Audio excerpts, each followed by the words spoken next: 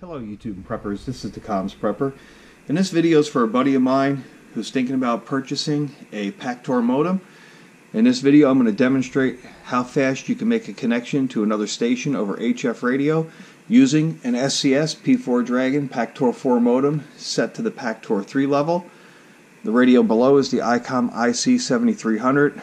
I'm on the 40 meter band and I'm going to connect to a station down in North Carolina from here in West Virginia and demonstrate that this modem is much faster than any of those sound card modes that are out there right now being used on the winlink.org system for those of you who like to send and receive radio email over HF radio. So I'm going to turn the volume up here, make sure the channel's clear, and hit the start button on the software.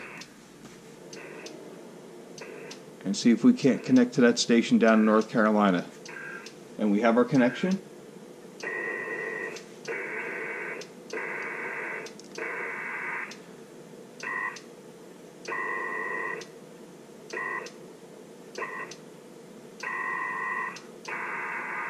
There's no messages waiting for me on the system. We're setting up the disconnect.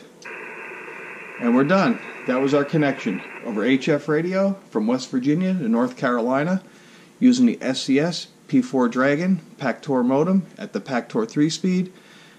There's nothing else out there that's a sound card mode that can even come close. And as always, thank you for watching my videos and subscribing to my channel.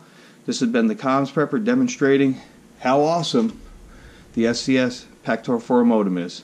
Thanks for watching, everybody.